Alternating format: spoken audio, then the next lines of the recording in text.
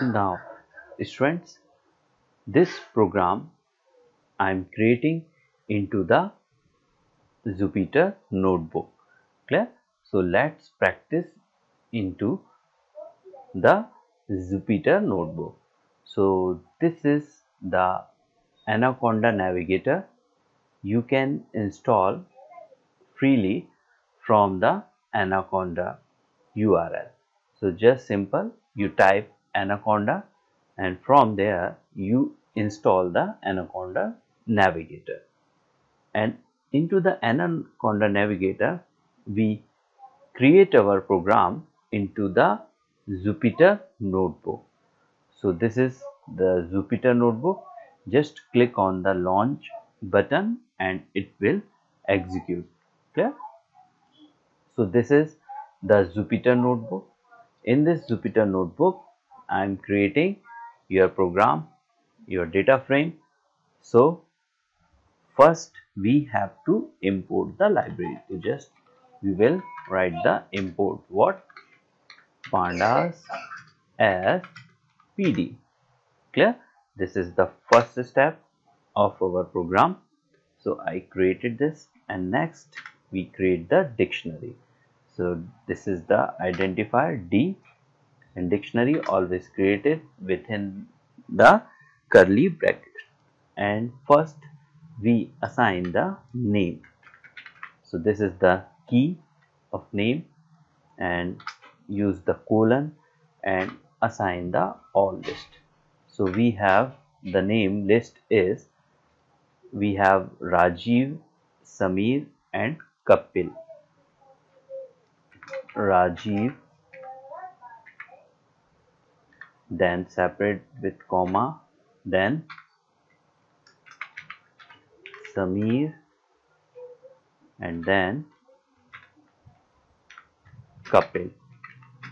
So this is the list of name. Next use the comma separator.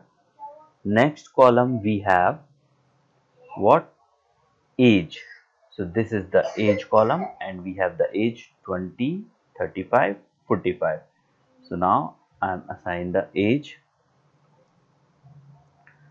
Age also enclosed within the single quotes or double quotes. So the list of ages 25 sorry 20 then 35 and last age is what? 45 okay so use the 45 all the numeric value will be right without single or double quotes. Next column is designation. Designation. Assign the list of designation. The designation list we have. Clerk, manager and accountant. So write the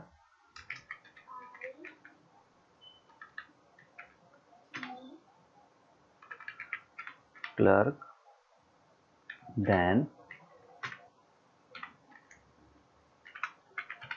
manager then accountant.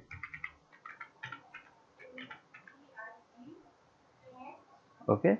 So this is the list of designation. Clear? Okay so all record has been assigned. We have clerk manager and accountant. Clear? Clerk manager and accountant. Clear? So all the list has been generated. Okay. And now this dictionary has been created now that dictionary we have to convert into the data frame. So df represent this identifier represent the data frame.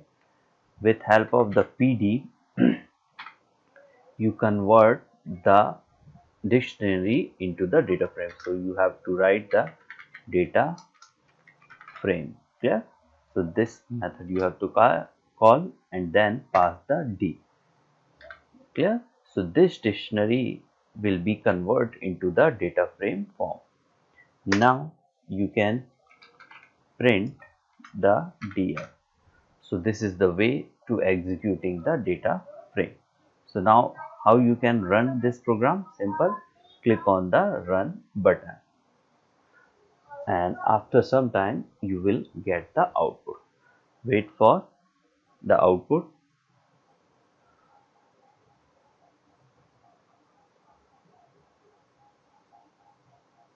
okay. Yes. You can see this is the data frame.